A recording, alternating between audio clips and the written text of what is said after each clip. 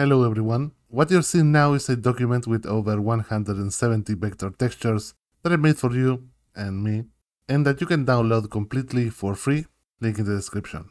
These are vector textures, which in my opinion are much more useful than bitmap textures, though I also decided to include the original textures I used in PNG format, with all the detail that got lost in translation, in case you want to use them. In this video I'll go over why I made them, how I made them, so you can make your own, and the best way to use them.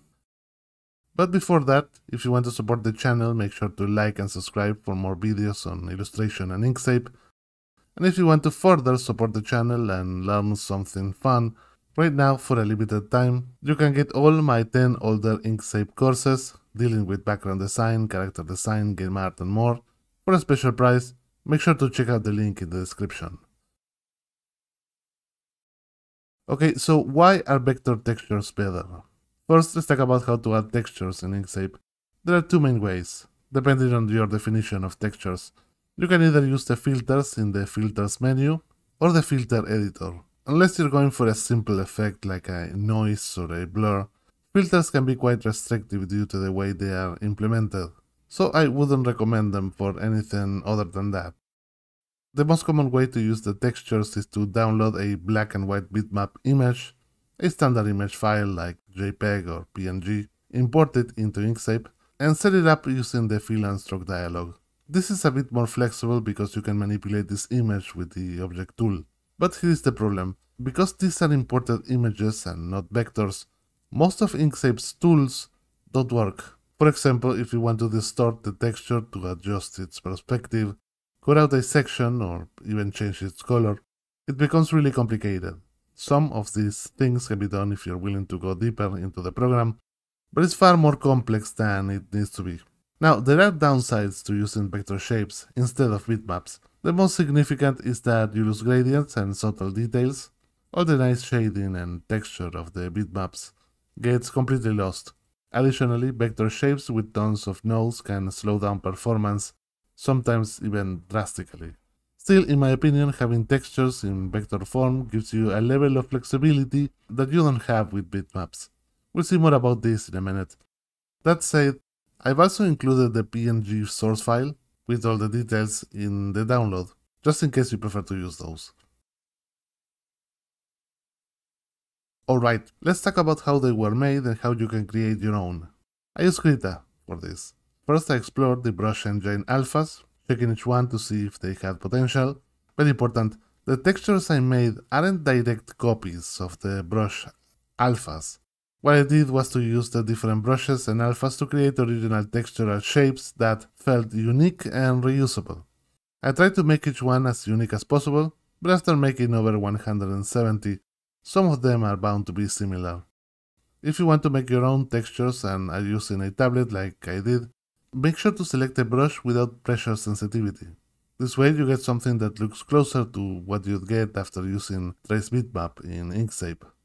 However, I decided against that because I knew I wanted to include the textures as PNG files. It's up to you to choose which one you'd like to use. Once the textures were ready, I imported each one into Inkscape. Then I used the Trace Bitmap dialog to adjust them one by one so they look the best possible. It's not a difficult process. You just have to move the threshold slider until you get a nice looking preview.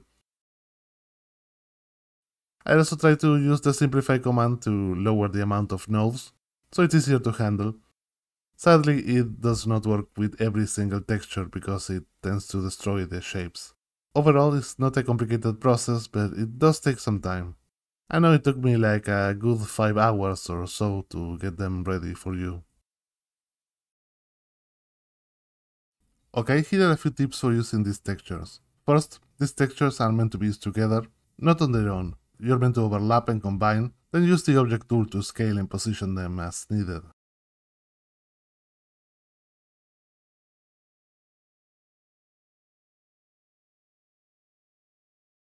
If overlapping them isn't enough, one of the best parts about vector textures is that you can use path effects. Any effect from the distort category works here, but the single most useful one is probably perspective envelope, which lets you adjust the texture to fit any angle or perspective. Beware that if the paths are too complex, made out of too many nodes, it can be really slow to handle. After positioning the textures, you'll want to blend them into your illustration. Start by using the opacity slider in the fill and stroke dialog to adjust the transparency. Then try some blend modes to control how the texture interacts with the colors underneath. For a darker coloration, use multiply or darken. For a lighter one, try screen or lighten. The texture's color also matters, so it's a good idea to start with a neutral gray. Once you've set the blend mode, adjust the color and opacity until it looks right.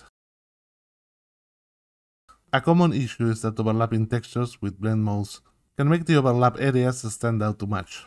This is easy to fix, just select all the texture shapes and press Ctrl and plus to merge them into one. If you want to carve damage into a shape, you can always use the difference operation. But for a non-destructive approach, a really useful tool is the inverse clip. Go to Object, Set, Inverse Clip. This will hide the overlapping areas of the top shape instead of cutting them. At any moment you can adjust it after with the node tool, which makes it way more flexible. And that was it for this video. Before leaving, make sure to download the file, and also don't forget to leave a like and comment letting me know what are your thoughts. Also don't forget to check out the courses promo, it is only for a limited time.